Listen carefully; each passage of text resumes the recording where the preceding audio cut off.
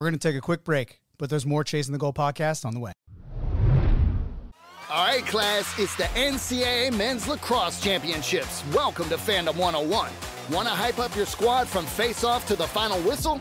Here's your assignment. Lesson one, get loud for every goal. Two, work together. And three, attendance is encouraged, but passion is mandatory. The Men's Lacrosse Championships, May 27th and 29th at Lincoln Financial Field in Philadelphia.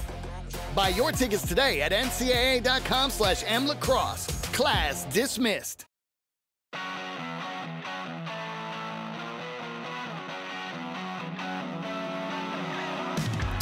Welcome to New England Lacrosse Journal's Chasing the Goal podcast, your destination for all things lacrosse. I'm your host, Kyle Devitt.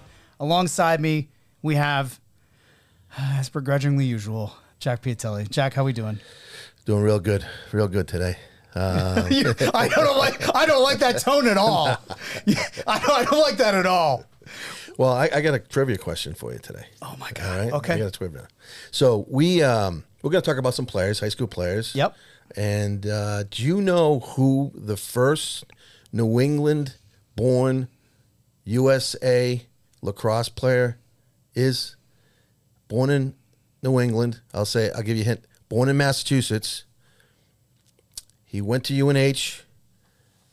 Played on the 1982 World Team. That's not it's not Mike Murphy, is it? Nope. No. John Fay? Yes. Yeah, you got him. Yeah. What a pull by me. How you like that? John Fay. You thought I was never going to get that. Two guesses. Do you know what high school he played at? No idea. Concord Carlisle. Oh. And he played at UNH. Great Yeah. player. Yeah, broke the ice for Massachusetts. Yeah, excellent. I actually know um, when I coached at Emerson, uh, Mike Blanchard used to talk about him all the time.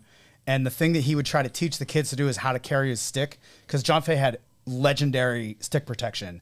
And he would tell, he told Mike to tell the kids that it was carrying the stick lightly helped him get all the control that he needed. So not to to grip so tightly when Right. you're when you're cradling, when you're going through your motions, to kind of just have it be like lithe and balanced every time you're trying to do something. So um, I don't know if that's that worked, but he tried. That's one of the things that we got from John Fay. Yeah, tremendous athlete, competitor, great stick skills. Uh, had the opportunity to play with John with the Boston Blazers for two years, and my job was with the Blazers was I warmed him up before every game, and I would bring a, a banana to the warm up because he always would eat a banana before for each game. So if he played well, I warmed him up well. that was my job. All right, Take that credit. Absolutely. it's kind of like kind of like Wade Boggs and chicken, but with a banana, right? Exactly. Yeah. And he listens to our show too. So shout out to John Fay. Oh, hey, John Fay, thanks for listening. Uh, also, I want to thank our guest who's here, uh, Xaverian head coach uh, Daggett Morse. What's up, man?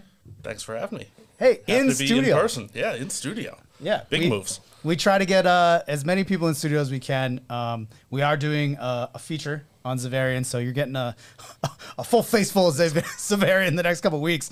But um, super glad you uh, you could come in and, and join us here, and um, you know we're going to talk a little bit about uh, your program, your history uh, as a coach, and uh, you know kind of where you, you you cut your teeth. Which uh, I don't know if you want to get into that right away.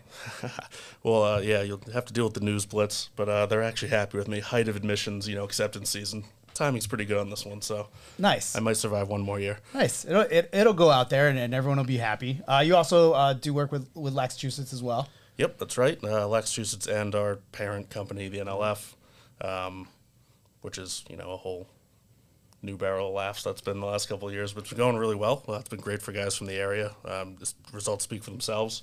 You know, tops in guys going Division One, tops going guys in SCAC. So it's worked out. You know, the the plan has been good. It's been nice to see it kind of take off. What age group do you coach with them? Uh, so with Laxachusetts, we hand our guys up. So Sean Morris and I do the guys who are going into their recruiting window, so that the rising juniors, um, which is a lot of fun. That's the pressure year, but that's when you know the guys are pretty locked in, trying to you know really make sure they put the right foot forward, and you get to you know see the right guys on the sidelines. So it's pretty cool. Yeah. I will say the NLF tournament has been uh, very well run the last couple of years, and not only the competition, whether you're in double A or single A, the teams are very good, and a lot of college coaches in attendance, and it's really a like you said, it's a it's a great event not only for the Laxachusetts kids, but a number of the other programs from New England that go and play in the NLF. It's uh, it's it's very well run, and we get a lot of very positive feedback from from the results. It's one, of those ones where you, you look at your turning machine the morning of and you're like, why do I even bother? Everyone's good. Yeah. There's, there's, there's no cupcake game. You know, That's right. Whatever three names you see, they're going to be dogfights. Yeah, it's great. But it's good. Yeah, the, I mean, even moving that tournament to, to Lehigh has been uh, interesting, and uh, n- not for me because I can't go, but uh, it's a little too far away. But um, you know, I, I remember seeing it when it was at, at UMass uh, many years, uh, even when I was when I was coaching. I got asked to coach a random team there one year, uh, and because they were out of coaches, there and it was uh, it was a wild experience. But um, yeah, definitely top tier talent playing in that every single year. Uh, the Rising Juniors Showcase I thought was really good too. Uh, Yeah. a couple years ago and and this past year. Let's talk a little bit about your your origins uh, getting into coaching, right? So you played. We found out you pl- you played at CM pre-show. Uh, can you talk a little bit about that? Yeah, so uh, we I went to high school at CM, which you know we, we don't talk about too often around the program very much, but um, Rivals in the the Catholic. League. yeah, you know lots of lots of good natured rivalry in that conference for anyone who's played in it knows. Uh, yep, so played there. Um, ended up going to Hartwick College afterwards. Uh, played for Bill Bajornis out there. Wanted to have a chance to play a lot and have a good time. Mission successful. Um, played one year in grad school across the pond uh, for the University of Leicester and came home and had the itch and didn't want to give it up quite yet, you know. And through sheer dumb luck, Medfield had two openings for assistants, and somehow in that meeting, I guess I fooled John Isef into I could do this a little bit. Um, and that was 2013, and we were off and running. Did eight years there, and you know, probably the best experience coaching wise, learning how to win. Yeah, and we've uh, we've had Coach Ice on the pod. Uh, very very intense in a way that like is is very subtle in person. Um, not so subtle outside of person, as we discussed a little bit before. Um, I'm gonna I'm gonna cop to this now. I don't I because I don't care. People make mistakes. I uh, actually I actually posted uh, on Lax Journal the incorrect times for the uh, Massachusetts State Championships. And within, I, I'd already realized it within the second that I did it. And I was like, oh, I'm in the post fixing it. And who texts me? It's been up for five minutes. I sw- five minutes. It's already getting fixed. Coach Ice, what are you doing? you gotta in. fix it. It's wrong. And I was like, I'm, I'm, it's fixed already. I'm in the post. And, you know, no response. I'm like, Oh, yeah. okay, now, now Coach Ice doesn't like me. uh, but you know, I think that kind of intensity, right? Like, I know you and uh, JD, who works at, at Maverick now, uh, you guys both worked under him. And when he told us that it was you two that were his assistants, I went, because I kind of know both of you a little bit. I went, wait, how did that work? Yeah, if his, if his hair wasn't gray already, it would have been after the first year with us together. I'm sure. A hundred percent. And I think that, you know, I say that, you know, not not in a pejorative way. I, I feel like uh, you have an, a certain energy and a certain candor that a lot of coaches don't have. And uh, I find it refreshing. I like talking to you about anything because, you know, as long as I don't say it's it's Daggett, I can kind of say I talked to a coach and he said this, which is great. No, that's good. That's good. That's trust, right? That's trust. Appreciate that. I'm not saying that's him every time uh, I say something, but sometimes it is. And you're you're very you know honest with everything. Are you don't my burner account? uh, no, I'm not a burner account. I don't have one. I wish I did. I wish I, we talked about this. That if I made one, people would know who it was immediately, it just because you out pretty quick. just because I would uh, I would say things. Uh, actually, people ask me if I'm I'm behind burner accounts all the time. It's so weird. I'm like, no, I don't have to do that. I have mine. I'm like a walking burner account with just too many followers. That's how it works. Who has time? No, no, well, not anymore. And I know you don't have time anymore. Um, I got no time. You've recently kind of uh, uh, switched jobs while you've been the, the head coach at Xaverian. Can you kind of talk about how that has gone through and the process of that? And, you know, try, I mean, one of the things you coach in the Catholic League, and the Catholic League is, I mean, it's different than a lot of other Division One schools in Massachusetts, right? I mean, That's true. You're bringing kids in. You have an admissions thing. It's basically a, a, a prep school, you know. So you know, Kinda we don't say that. I know we don't say that, but it is. There's there's an admission standard that a kid has to meet before they get in. So it's it's technically not. You know, you don't get born Yeah, it's not. It's not a town team. Right. It's not a It's town different. team. So, how has that process been for you and kind of navigating that from Medfield, which is not like that? Yeah, I, I don't know what's in the water at Medfield, but 40 kids show up and they're all good, so that was easy. A um, little bit more involved, obviously, on this side of things. Uh, we really have you know the normal like the open house night stuff like that. You know, so you got to add those to your calendar, and it's a great way to meet the kids and kind of once they visit, you can kind of get into it a little bit. Um, we don't we don't reach out proactively. That's that'd be against uh, the MIA rules, and we absolutely play by the rules. It's easy enough to do it. There's still plenty of athletes out there, and Xaverian's an awesome school. So we're you know we waitlist in every grade again, I think, which has been the case since COVID. Um, so it's almost the problem is there's too many kids sometimes where someone might come late and be a good player, and you're like, oh, man, we got like 50 kids on the wait list in front of you. Like I'd love to, but it doesn't work that way. Right. You know, it's a it's a school first, as it should be. Um, and the overall goal, of course, is to send them to college. So, Right.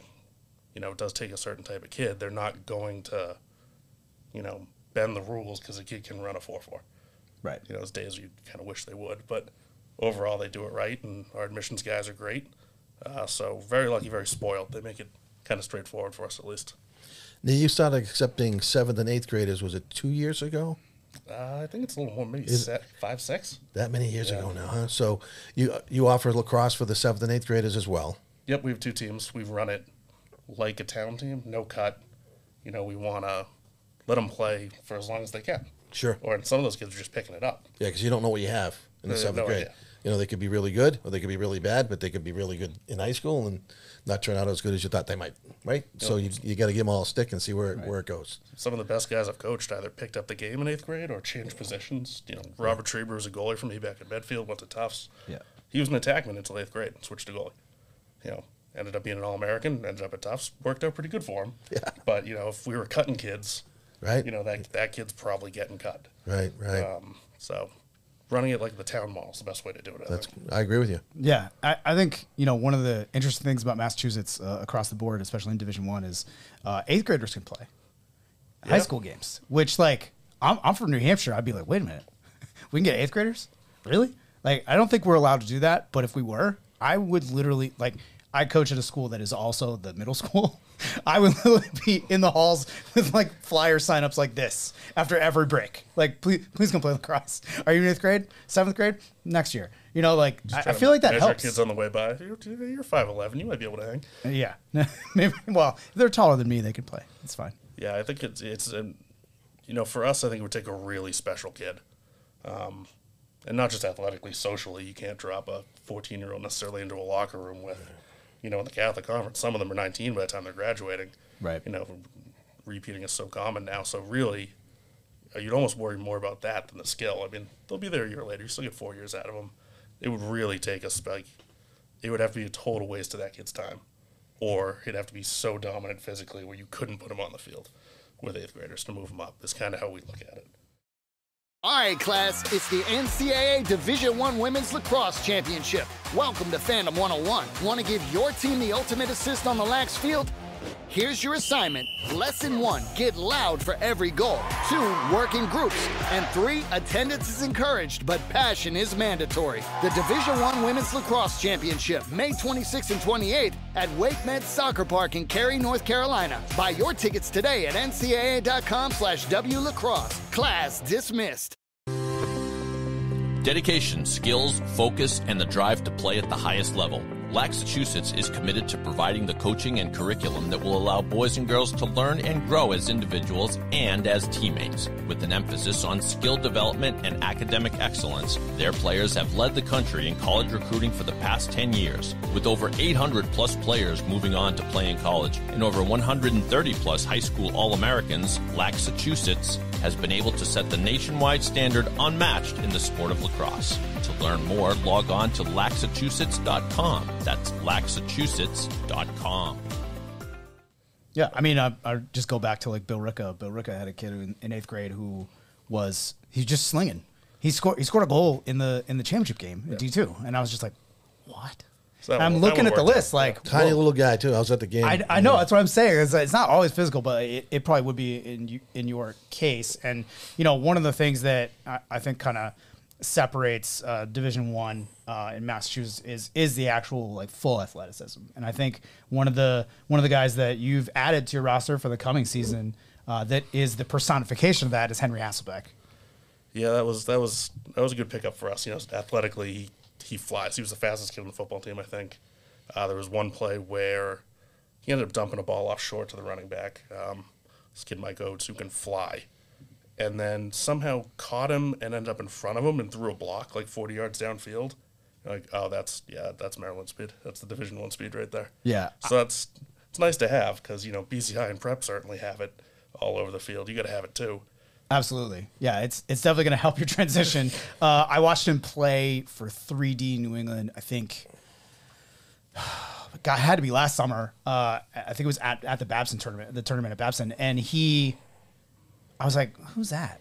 And someone was like, "Oh, it's Hasselbeck," and I was like, "Uh, that Hasselbeck?" And he, they're like, "Yeah." And then the next play, the ball was on the ground, and I looked down at my book, and I looked up, and he had carried the ball in like two seconds from the restraining line to the other restraining line, and he was still running. And I was like, "What? What? What happened?" Like it seems like he's one of those guys. He has a lane. He's hitting the lane. He's bringing the ball up, and you can see like when you have that kind of end to end speed, why you know Tillman would recruit him. Solve some problems, that's for sure. Clearing the ball, I mean, makes you look smart. You can just give it to that kid. Why don't you just run it out for me? Especially at the college level the shot clock, right? You only get 20 seconds Yeah. to get it over midfield. So you got a guy that can, uh, you know, motor. It's certainly going to help. You know, and if you get the ball over in 10 seconds, you get 70 seconds to shoot on the on the on the on the goal. You know, so the quicker you get it over, it's an advantage for the offense. That's a good point. How, how do you think? Thank you're gonna- thank you. I appreciate Yeah, that. You're welcome. Uh, how, how do you think you're going to use him this year? Uh, well, we're going to shovel as much onto his plays as he can handle. The great thing about him is he's worked on every other part of his game. He's not just a fat, like a fast kid with who holds a stick like a hammer and can't do anything else with it. Um, I've seen him shooting on the field. He can he can put the ball where he wants to, and obviously 3D is, does such a phenomenal job coaching those guys up where he knows what he's looking at. He knows where the ball should go. So it's our job to kind of find some ways to put that speed in places where he can use it, other than just clearing the ball. Cause, Sure. I mean, I certainly don't want him to just run down the field, dump it, and run off. He's not. He's not that guy. Right. Well, I'm sure he'll create a, a number of double teams once he gets a step on his guy, or maybe triple teams, and open up the other side of the field. Uh, you know, I mean, that obviously, you know, that uh, always looking for a little more, creates a little more space and time for the other players on the field. Yeah, I think those those Catholic League defenses is funny. Like they they don't go out that far to play guys because they know that if they go out too far, they're gonna get burned by half the guys around the field. Like the athleticism in that league is so, especially at those positions where you're attacking with the offensive players, is so elite in terms of the top like three four programs that like if you have a bad match, that's a goal. Like I've seen it happen multiple times. I mean, if you watch any of the state title games, especially the last two years, BC High and St. John's Prep, it's it's not a one-on-one duel so much as it's we want to get this guy against this guy. How do we make that happen? How do we move the ball this way? How do we, you know, how do we get the matchup we like? Is that something that you've experienced? Yeah, I mean, especially both those defenses are so well coached that you need to find that way to have a sudden change and win quick and make hopefully two people react when it should be one. Because if you're going slow and just kind of nibbling around the outside, they're not gonna. I mean, even back when Steve Lyden was coaching BC High and they had you know Will Bowen and Tommy Joyce, they wouldn't chase out unless they wanted to, unless they had a guy like, oh, we're gonna take the ball off this kid all day. But for the most part, it was, all right, we're gonna make you come to us, and then we're gonna take it from you, and it's gonna hurt, and you're not gonna want to do it again. Um, And you know, pr- they still play the same way. Prep, you know, runs a college defense. There's they have multiple slides set up depending on where you dodge. You know, you can hear them communicating, so it's it's not easy, and they're not going to chase you for no reason because, like you said, the speed's there for certain guys, and then you're in trouble for no for why. What's your what's your experience been kind of developing Xaverian into a team that can compete with those two teams, especially in the last couple of years? Is it a lot of stuff that you do in practice, or is it a lot of matchup play and uh, style of play for you? Yeah, it, it that's kind of an interesting question, and you know, Xaverian always did. You know, the, you know, the, the cupboard wasn't bare. Tim Gardner ran an awesome program, and the only thing that made it kind of a restart was the COVID year, where we had a gigantic senior class leave, and ended up with I think three guys with varsity experience by the time we were back, which is the only reason we felt like, oh my God, we're rebuilding here. What happened? Um, a bunch of your guys unfortunately didn't get to coach. You know, the Alexanders, um, it's the biggest regret of my coaching career. I think Right, yeah. missing that year with those guys. I mean, They were outstanding. not only outstanding players, but just great young men. Great young men. You know, And leadership wise, that was Yeah. you lose all that. Now Yeah. you have seniors who've never been the guy. right? So that was tough. But um, in Yeah, terms that's of that's sorry to interrupt, but that's got to be. I mean, we talk about how you know COVID has affected so many different players, but that senior class, and to your point, not not having the opportunity to coach those players and losing a class like that is is massive to a program. Yeah, and then we heard it or felt it leadership wise, especially because now you got a, a sophomore who's now a senior, who was like a third line guy. Right. Now he's got to be the guy and a captain. He has no experience doing that, so that was the hardest part. Um, And he had no, and he had no, had no one to learn from. exactly, you know, because you know we were locked down, and then we had the kind of weird fall where guys couldn't really play.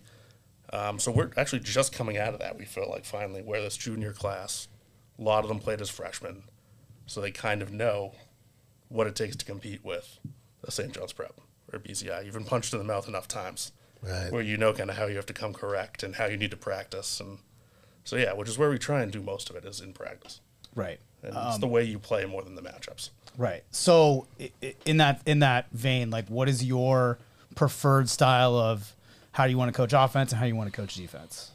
Yeah, um, you know, we've, we've played a lot of zone against BC the past couple of years because they were so athletic at the midfield, especially my first season. We prefer to be man to man, and kind of like those two teams play, you're going to have to come to us until we get you in an area and we're sliding to take the ball away rather than sliding to panic and help somebody. Um, that's it's easy to say and draw up. It's not always easy to execute. You know, you got you know Ayers coming around the pipe with the ball on his stick. That's kind of a tough double team to stick every time. Um, and then we just want to play fast offensively. You know, it's it's we grade our guys on decisions rather than the rather than uh, the results. Sorry, I forgot how to speak. Um, so if we run by a guy and we make the right two passes and someone drops it, you're not going to hear about it on the sideline. You know, you'll hear go do that again, play fast, fine. Um, and we're lucky that we have a good face-off guy and we're strong in nets, so we can kind of get away with that, where you don't have to take the air out of the ball. Right. How how did you think teams perceive you coming into the season now? You you have a ton of uh, junior commits. It's actually what the cover story is that I'm working on. Um, uh, you have six rising junior commits uh, for D1 in this class. Uh, do you think that's like a lot of extra pressure? Um, well, if it is, they better embrace it because we're not giving any of those commitments back. That's for sure. And you know, we have some good guys in the senior class. Our goalie's a third-year starter. You know, Will Will Will Pasnelli's going to BU as a midfielder. Right. Dylan Benoit's going to Assumption. You know, Division Two. Um, there's a, a saying that now I now have learned to hate, which is you know, when you're okay at something, you tell people how good you are. When you're when you're actually good at something, people tell you. People have been telling me we have a wagon for like three months now. I hate that phrase now. I absolutely hate it because we haven't picked up a single ground ball. We haven't had one practice. Who knows what it's going to look like? Right. We we might stink. Yeah. I mean, I hope not, but it's got to come together. These guys have to gel. That's just pen to paper right now, um, especially in our league. And I know Prep and PCR aren't, aren't too concerned. They're one and two as they always are. Yeah. We're still chasing. But commits are an individual thing; they're not a team thing. You can't even, you know, have any success if the players are thinking about I'm a committed Division One player. I mean, you know, I've been in situations where we're playing against teams that have 20 Division One commits, and and we'll beat them because we're a better team. It's about being a team, right? Coming together as a team. You have the talent on paper, but like you said, Coach, you may stink. Hopefully you don't. I mean, you get everything on paper, but they got to compete together as a team and be good teammates. And you know what? What's the goal here? To win the state championship. Right. Put your egos aside. Put your commitments aside. Those don't mean anything, and they don't mean anything when you get to school either. And they're- they're partially projection. I mean, we don't put him on scouting reports for a reason. Like, oh, this, this kid's committed to UNC. Well, he's not there yet. He's not on the team. Right. So he's still a high school kid. You know, let's not overthink it here. I think it's it's different for the kids though because Yep. I mean we And we- the parents. and the parents, but like for the kids, uh, you know, uh, last year we played a uh, at Hopkinton we played a you know uh, an opening season jamboree. None of the games counted, just kind of tune up, and we're playing against Division One team in New Hampshire, and they they have the kids know who's committed on the roster. I'm like, how do you know that? They don't know each other now. They don't. It's crazy. they- it's well, it's. I mean, it's New Hampshire and it's small because. But you, the reason I say how do you know that is that this isn't a team that's plugged into the internet, man. The- like I'm coaching in the sticks. You know what I'm saying? Like I'm, I'm impressed that they like know what Instagram is at certain points where, and they're like, they're they're like, uh, coach, that guy was committed, committed. I'm like, I don't. Stop talking. about We're on the sideline. I'm like, stop talking about that. in the middle of the game here. Middle of the game, and we, you know, we lost six to two to the team. We, was, we only played like one half, and the kids were like, "Oh, we did, we did pretty good." Those committed team. I'm like, "You lost. Lost by four. Stop. Like, stop talking about that." You know what I mean? I'm like, "Are you guys all committed?" And they're like, "No, coach." And I'm like, "Then yeah, we did good, but like, we can't just like be in awe of people we play against." And I think like, you know, obviously my team's a kind of an exception to that rule because like a lot of people aren't in awe of things, but individually, being like, oh, playing against this kid, he's committed to Princeton or something. That still like holds weight no matter what level you're at at the high school level. Do you do you get that at all? Like do you be a big you- confidence builder for guys if you own that matchup and like, hundred wow, this- percent. This kid's going see, there. See, you just went you went you went glass half full. Yeah, It- I don't. good. I don't normally do that. Uh, the, geez, my players be shocked to hear that because Yeah. normally I'm the guy like, "What? You want his autograph? Shut up!" Like, I, Yeah. I don't care where he's going. But- hundred percent. But I've seen it with guys, you know, who've who've played even a, a great first quarter against someone who's you know kind of a headliner, and all you say to them in between quarters is like, "Dude, you're crushing them. Keep it up." And so you can see them kind of. You know, the shoulders come up a little bit. They get a. I mean, they're still high school kids. They need the confidence. That's why they play the games, right? Yeah. You know, you show up at a game and oh, they got twenty commits. Ah, we probably shouldn't play this game. yeah, You know, we- uh, I think, I think let's go uh, back on the let's go home. pause. Let's go home. Yeah. Right. And it's not where you play. It's not where you're gonna play. It's how you play. Yeah. That day. in Every day, particular. every And that day, day. Yeah. every day, every single day in practice, Mm-hmm. in games. When you go to college, there's 45 guys just as good as you. You got to find a way to get on the field. Yeah, and there's 20 And, more coming and- the next and- year and- too. and you've got the same situation as Xaverian. You know, the one thing that you know, I've been around this area for a long time, but the Catholic schools, I mean, 20 years ago, 30 years ago, no one talked about PCI, Xaverian, St. John's, CM. Now they've all got great programs. More and more kids are playing. More and more parents want better education for their kids. So, you know, it's either Catholic school, ISL, and obviously, you know, the public school teams have gotten better too because there's just more players playing. So it's becoming more challenging for the better players to get maybe the time that they think they're supposed to have because they think they're better. and they're paying for it. It's their customer. So there you there's, go. that, there's that whole It's a extra. great. Yep, you're absolutely right. Angle. That's I mean, a that's a great point. How, how do you feel about that? As I mean, you- you're basically working for kind of, not to put it this way, but you're you're working for two places that you know you need to pay to basically play at or, Yep. or be involved with, but you came from a place where you know the culture is so strong in Medfield that like it's like they grow lacrosse players there. You know, Yeah. it, did that? What was your adjustment like from that? Because I, I I keep coming back to that because I know it's like such a point of emphasis. I flipped the switch in my brain. I think the day I took the job, where I was like, okay, we got to think this other other direction now. right. Um, one of the reasons I, I love Laxachusetts is, you know, Dan Chenard and, you know, Dave Evans and Sean Morris have kept it as cost effective as they can. And I know there's guys that have been scholarshiped and helped, and those guys all have day jobs. You know, some of the guys we work with from around the country are like, you guys are nuts. Why don't you just add three more teams and you can, you know, looking at Dan, you don't you don't have to be a firefighter anymore. And he's like, no, I'd, I'd rather, you know, keep the price point where people can afford to do this because, you know, not every kid is a trust fund kid. Right. You know, thank God.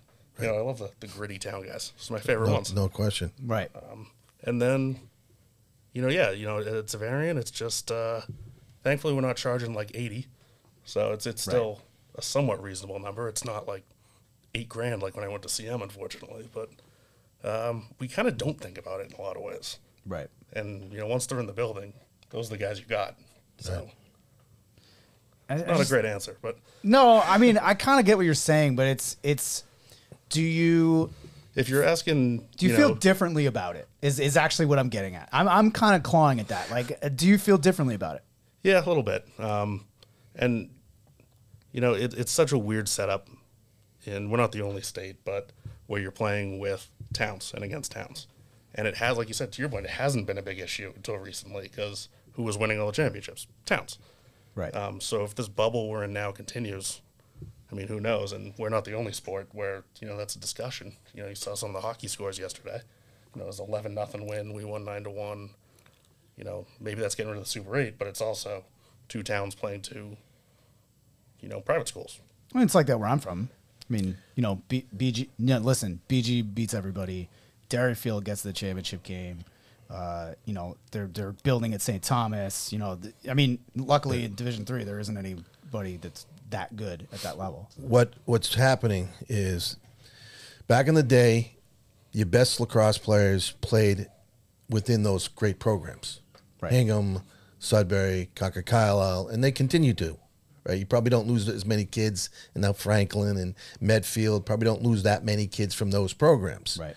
Now, the other programs that pop up, let's say at King Philip or Reading, well, they're a great program now too. Not a good example. The better players from the weak public high schools are going to the Catholic schools because they can they can afford it, and maybe there's some of them are going to the ISL schools. So the weaker public high schools are getting weaker because all their better players are going to Catholic schools or private schools or prep schools and you know in New England. Right. And I agree with you. I think they're going to have to do something because it's not fair. I don't think it's fair for the kids who go to the private schools to play against the public schools or the public schools to play against the private schools. And some kind of a playoff, I don't know what the answer is, but um, I'm with you. I don't know what the answer is. Someone smarter than me has got to figure it out. I mean, Right. And you know, we'll like I said, we'll see if this bubble continues. Because if it goes right back, where it's all right, Lincoln Sudbury's clearly the best team. They've won, you know, what was it, four out of six, or but I don't see it going that way. I don't. I don't at all. I mean, Why not?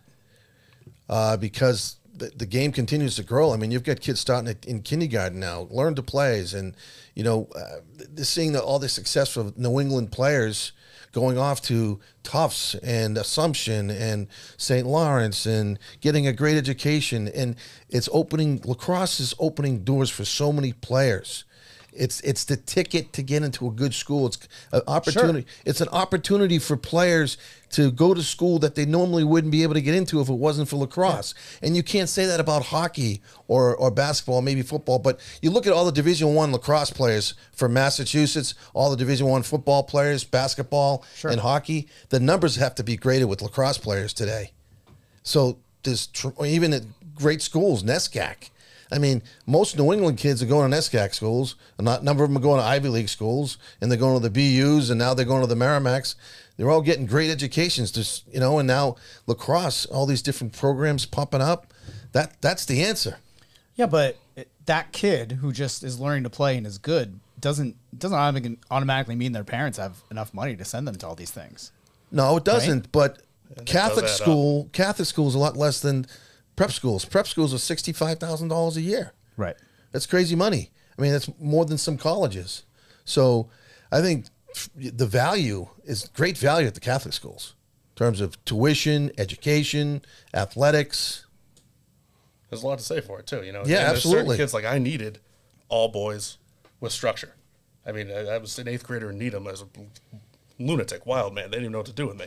Yeah. Show up to still- see him the first week. You're still a wild man. A man. little bit. Show up to see him the first week, get cuffed on the back of the head by one of the brothers. I'm like, oh, I, I, I better button my top button here. These guys, these guys aren't messing around. Yeah. Um, so there's something we said for that too, which is the, you know the other side of it. Yeah. You know, so I mean, I hear that a lot where like we really want this for our son. He needs some more structure, Absolutely. fewer distractions. Like, well, Yeah. this'll The preps it. do, that too. I Oh, yeah. I- No if I question didn't go, about it. if I didn't PG, I would have not made it through college.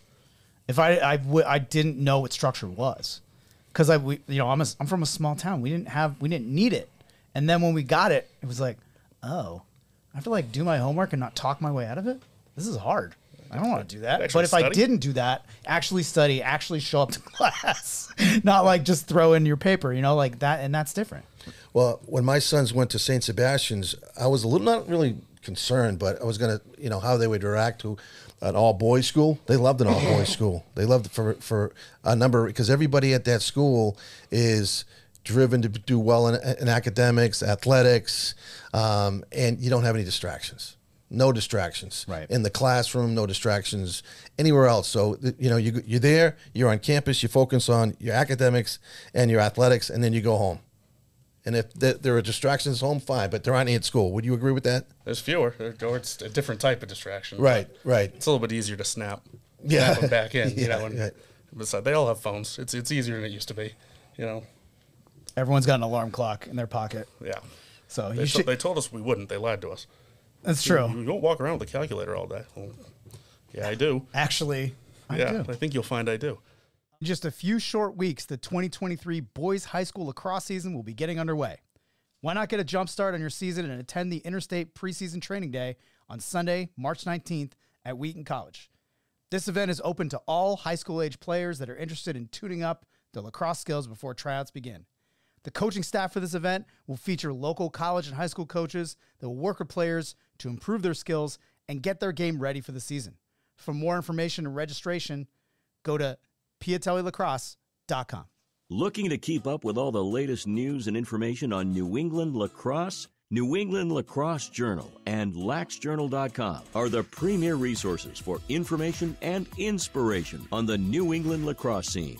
Have every issue of New England Lacrosse Journal, the magazine, delivered to your home or office. And don't forget to stay in the game every day with a digital subscription to laxjournal.com to receive daily digital lacrosse coverage on club lacrosse, college commits, prep and high school, Division 1, 2, and 3 colleges, showcases, rankings, and much more. Get in the game and behind the scenes now by logging on to laxjournal.com. Just click on the subscribe button and start the subscription that is right for you today. New England Lacrosse Journal is a Seamans Media publication. Seamans Media. Inspiring, informative, insightful. What is your expectation for this season? Um, those are always tough because I hate you can't write championship on a whiteboard. It's too nebulous of an idea to be like a realistic goal. Sure. Um, so we really just focus on the small building blocks. Are we better this Monday than we were last Monday? And I don't know better at what. Maybe it's we fixed the clear this week. Okay, you know, something tangible we can all grab onto because it's a long season, as you know. Um, and if all all that's up there is the kind of the end result, it never comes together as well as it should. Um, so it's tough. It's almost like being a teacher with your kind of like scope and sequence, where you have to look at like every individual week as a unit, but also where is it heading. Um, learned that while at Medfield as well, where you actually have to plan and put all these things in, and sometimes pull yourself back. Where you're like, I can't install six offenses. Like that's not going to work. Yeah. Let's let's install two and be really good at them. Um, so yeah, our expectation is, you know, just to just to improve, just to get better. Um, I think we're all thinking would like to, you know, take it, you know, a round further. You know, went down to Hingham, phenomenal team in the team. round of eight, and Yeah. fell short. You know, there was no no shame in that loss. We lost to a better team. So I think we'd like to go further than that, but a long way to go to make it happen. What are some of the things that you are going to adjust and do? You think maybe do a better job of this year than last year? Uh, beginning of last year, we couldn't clear the ball worth a damn. Um, so we fixed it, which was nice. Um, How'd you fix it? Uh, we just changed it up and totally ripped off, you know, what Dover Sherborn's always done, which is just spread everybody out and we have an athletic goalie and, you know, find an easy two on one. And it, it's just easier decisions. We were too crowded. We were making things happen too quickly. And it's high school. So even if we made the right look, it's a kid at a dead sprint over the shoulder. We dropped a lot of them. Can't do that against St. John's Prep. Yeah. Um, Yeah, so- clear away from the box. yeah, clear away from, I don't know, all those machines they have hunting in the middle of the field. I don't know how you do it, but Yeah. BC High struggled with that in the champ game actually a little bit. That was one of the things, not not a total separator, but some of the things. And I remember they messed up a ride, and I just saw Pitchin lose it. it was, which he doesn't do that often. Doesn't happen It often. Doesn't happen often, but they they messed up a ride in a timeout, and he was just heated. And uh, I feel like you earned it when you lose it. You're like, yeah.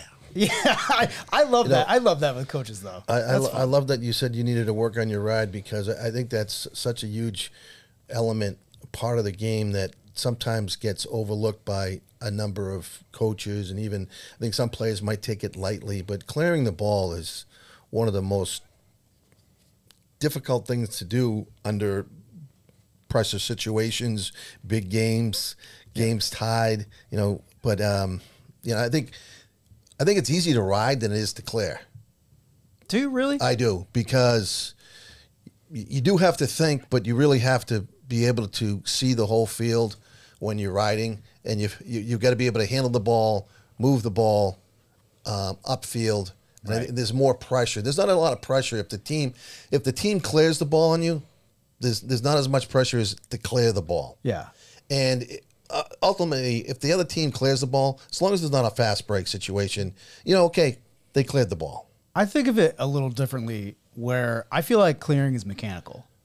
If you if you have I mean just an L clear is like mechanical. And riding for the way that I I approach riding, the way I coach riding is very it's very important. If you don't lock in our lock ride, we are gonna give up a run.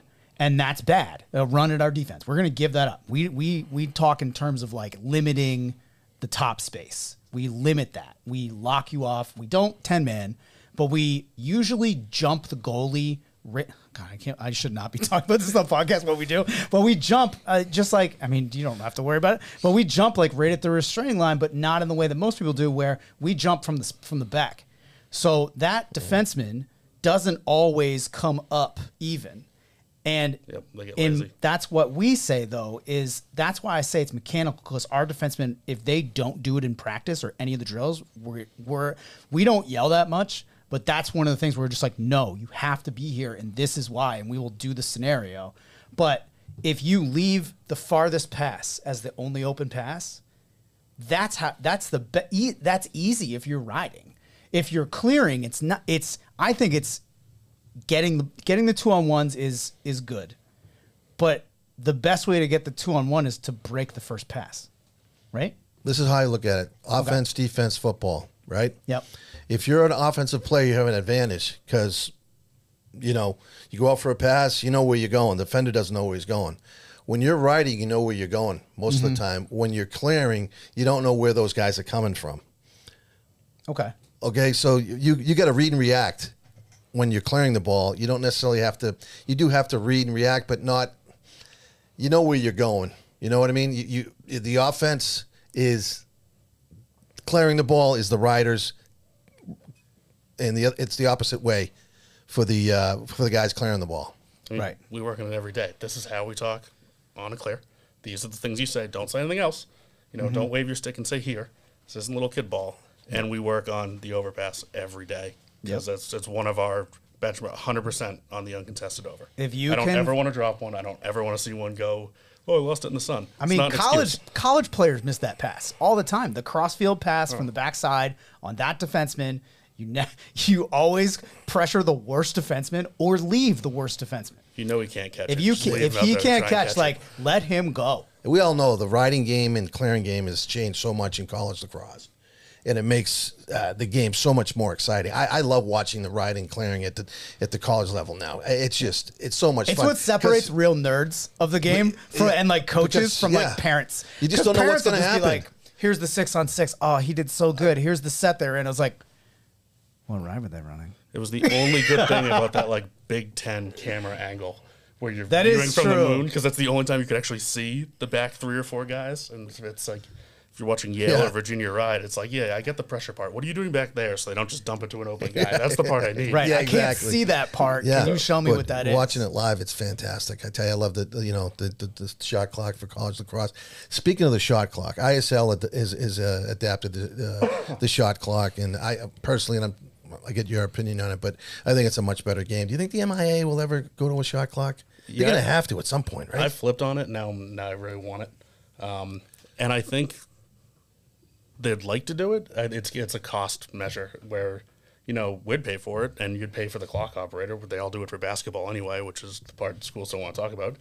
Um, That's a good point. But Yeah. is is your team that's 14th out of 14th in the league going to be super happy out of that athletic budget on an 18 game schedule to pay a kid to do this? Yeah, your argument is the same argument I used that I didn't think they would do the shot clock in lacrosse for a long time, and why I think they didn't do it because it is added expense. Yep. And it's a you know even at the college level, it's a third tier sport. Sorry, sorry everyone, it is. We work in it. We know. None of us are rich. Okay, like it's it's not the you know uh, like you use basketball as an example. That's a great thing if you have that a person that knows how to do that. Yep. But also, do they know when to reset it if it hits a pipe, or uh, if a goalie tips it, if it's not going in, like all that kind of stuff, or if it hits. This is the thing that's happening lately: is the side pipe, and they're giving resets. I've watched it three times in college already, Really hitting the outside of it. hitting the that. outside and hearing it, and then the ref does this. It's got to be over. robotic for the official. You hear the pipe and he just does it. I mean, it's not I mean, you're not supposed to, but not it's not terrible, but it's not good either. It's because they're not on goal line extended. They should be on goal line extended, right where the, the shot is uh, hit the, the side pipe, but they're not, they're not on the ball. if you're talking about college guys being out of place, don't even don't even worry about the high school guys. Yeah, no, we're. uh I'm still. Don't mad- tell Darryl Benson. Oh my god. Get myself in trouble again. Yeah, you don't want to do that. Well, let's let's let's talk about about your uh, your personality Oh boy. because I, I think it's no no no I like it. I, I was telling Jack I was like he's he's kind of a wild man on Twitter. It's it's pretty great. But like how, I mean, I feel like you've calmed down a little bit. Oh yeah. So how how did that kind of progress? Like, did you just see like no one was really being real with people? Because like you're definitely real is one thing that I would say that you are. I just don't care. From that angle, I'm just like, It's the best, it's the best answer I've ever heard. well, it- like, look, it's we're not doing this to get rich. No. I mean, you, you- coaching high school, you get paid, you get your gas money back, hopefully. Um, and what's the worst thing that happens? Oh, all right. It's it, this isn't what's paying the bills, so I guess the the downside isn't that huge. Right. And thankfully, eight years under John Isif fixed a lot of. There's talking about swinging wild. Year one and two, there's plenty of things that would get tweeted, and my phone would ding a minute later. Like, dude, don't be an idiot. Yeah. So, he, thanks, John. You fixed a lot of that. Appreciate you, brother. Um, so, Well, well, we all have to grow up at some point, Yeah, a little right. bit, right? And we we grow up a little bit every year, and you know, it makes us better. And you know, it's uh, you know, there's a lot of young young coaches. They come out of the gate and they're excited, and they want to, you know, they want to do this, they want to do that. I remember when I took over the high school program in Brookline, I had you know three rides and three clears and five man ups and four plays. And it's like at the end of the year, I had one clear, one ride.